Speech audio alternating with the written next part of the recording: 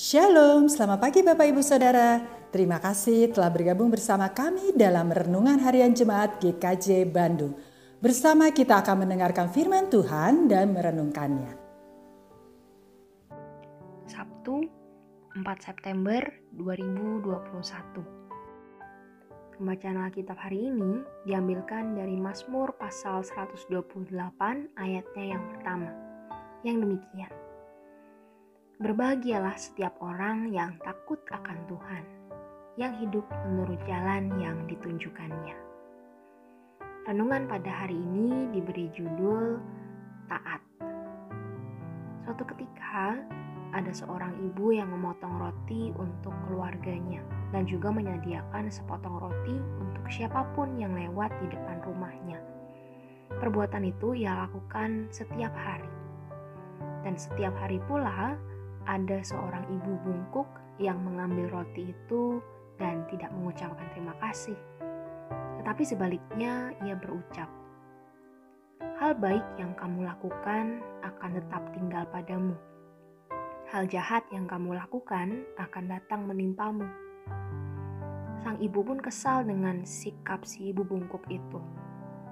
Tetapi suatu hari, putranya yang sudah lama mengembara di kota lain pulang dalam keadaan lemah. Dan saat bertemu ibunya, sang putra berkata, Sungguh keajaiban aku bisa pulang. Saat aku dalam perjalanan dan hampir mati kelaparan, ada seorang ibu bungkuk memberiku sepotong roti. Mendengar ini, ibu pun teringat akan perkataan si ibu bungkuk.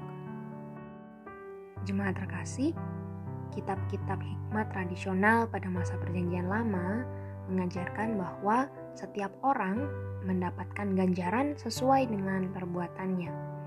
Apa yang kita tabur, itulah yang kita tuai.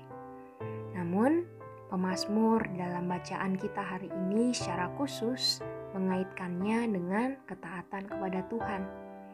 Hubungan kita dengan Tuhan itulah yang justru bisa mendatangkan berkat. Dalam pemahaman masyarakat Israel kuno, berkat memang lebih dianggap berupa materi atau fisik, seperti misalnya hasil tanah, kesejahteraan sosial ekonomi, dan juga keturunan yang banyak. Namun, pada masa kini, kita juga bisa mengartikan berkat itu secara luas.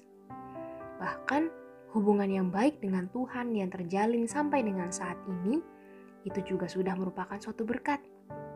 Maka marilah jemaat yang dikasihi Tuhan, kita menghargai setiap hal yang ada dalam kehidupan kita, termasuk juga kasih Tuhan yang begitu nyata di dalam kehidupan kita. Berbahagialah setiap orang yang takut akan Tuhan.